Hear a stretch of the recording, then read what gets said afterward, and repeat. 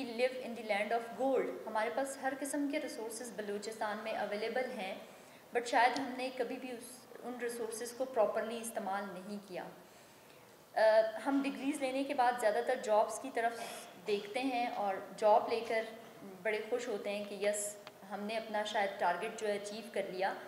But Balochistan के available minerals और resource को देखते हुए हमें इंटरप्रेन्योरशिप को यहाँ पे प्रमोट करने की ज़रूरत है। तो जहाँ हम जितना ज़्यादा रेवेन्यू जनरेट करेंगे अपने सूबे से उतना ज़्यादा एन एफ़ सी वार्ड्स के थ्रू हमें जो है वो कॉन्ट्रीब्यूशन मिलेगी और फिर हम डेवलपमेंट के काम जो है वो कर सकेंगे। इंटरप्रेन्योरशिप की प्रमोशन के साथ साथ हमें मेरा ख्याल से uh, जो प्राइवेट सेक्टर है उसको स्ट्रेंथन करने की ज़रूरत है।